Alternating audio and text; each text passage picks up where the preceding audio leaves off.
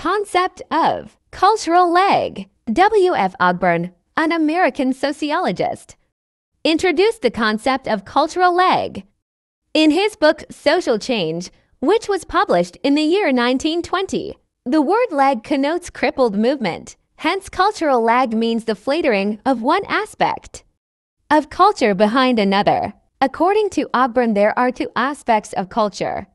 One is the material and another one is the non-material.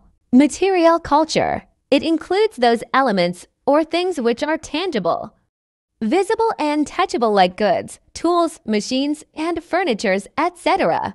Non-material culture. It includes those elements which are neither tangible nor touchable, rather these are experienced by men like customs, values, ideologies, religion and behavior pattern, etc. It is found that technological innovations and discoveries stimulate the material culture to a great extent. As a result, the changes are quick in material culture, but non-material culture responds very slowly to such changes.